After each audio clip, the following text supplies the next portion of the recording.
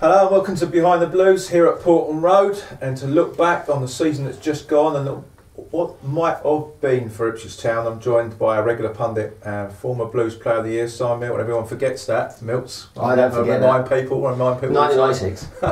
More goals than Darren Bent. um, the last four or five years we've sat in these chairs and we've we've tried to put a positive spin on uh, disappointing seasons. We haven't got to do that this year. It's been a terrific season, one of progress definitely. Yeah, I mean, I, I think even though when you are having a tough time, there are positives, and it might be a young player coming through or somebody burst on the scene, a really good signing. You know, Aaron Cresswell. You know, he's been here for quite a while now. This is by far the best season that he's been involved in. So there is always positives, but um, I think we need to, you know, we, we can shout about this season a bit because it's been by far our best season.